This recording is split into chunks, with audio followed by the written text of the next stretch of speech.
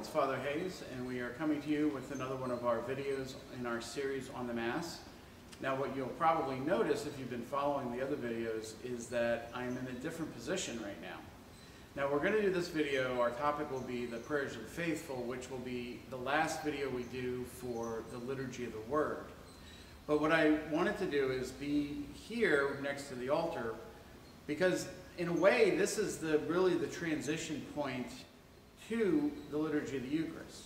Even though the priest is usually at the chair and we have the lector reading the intercessions on Sunday from the ambo, you know, nobody's really at the altar. And yet we're making that transition from liturgy of the word into liturgy of the Eucharist, into the sacrifice. Why is that?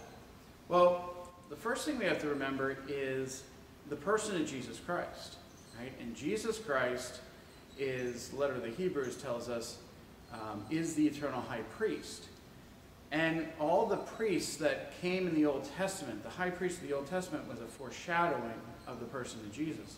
The letter to the Hebrews tells us that those priests who were chosen from among men were there to make, uh, offer gifts and sacrifices um, to the Father. They were there to be the representative between man and God. And so that's really the identity of Jesus as the eternal high priest, as he is that mediator between humanity and God. And then later in the letter to the Hebrews, it even says Jesus, when he was in the flesh, offered prayers and supplications primarily during his passion, which is what we, we bring make present to us in the liturgy of the Eucharist. And the letter of the Hebrews says, and God answered him. Okay? So what we're doing at the, the prayers of the faithful is we, as members of the mystical body, are beginning to exercise our priestly identity.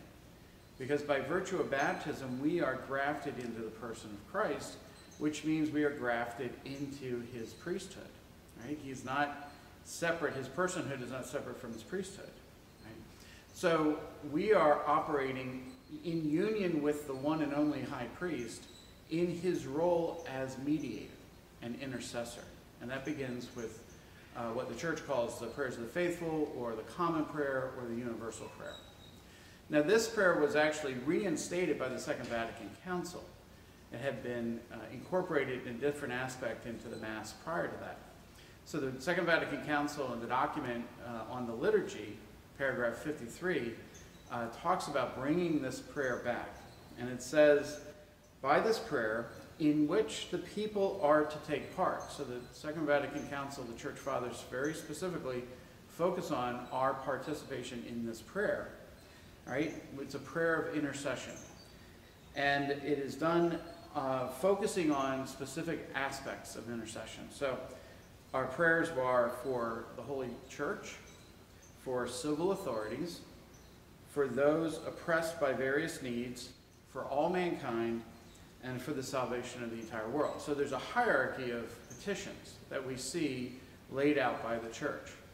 Now, where does the church get this? It actually, this is a, a restating of St. Paul's uh, letter to Timothy, where he, he exhorts Timothy to be really participating in this intercessory role for these specific intentions. Right? So even though we hear the intentions articulated differently when we come to Sunday Mass, what we're seeing is the members of the mystical body acting in union with Christ the head in his priesthood and in his role as intercessor for humanity and articulating that hierarchy of intentions. So in that, what we're beginning to see then is that, that transition from where we were remembering what Christ had done, when we were hearing the Word of God and receiving the Word of God and the liturgy of the Word, now we are making that transition into uh, participating with the one and only high priest in that perfect sacrifice that redeemed all of humanity.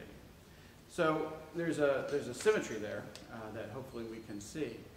Um, but it really also hopefully will bring home to us again a deeper sense of our own identity when we come to Mass. One of the phrases we talk about a lot is full and active participation in the liturgy. Well, what that means is really full and active awareness of our identity as members of the baptized, members of the mystical body, participating in the, actions of the eternal high priest as mediator and intercessor, and as priest and sacrificial victim, which we'll begin to unpack as we get into the videos on the liturgy of the Eucharist. May God be with you.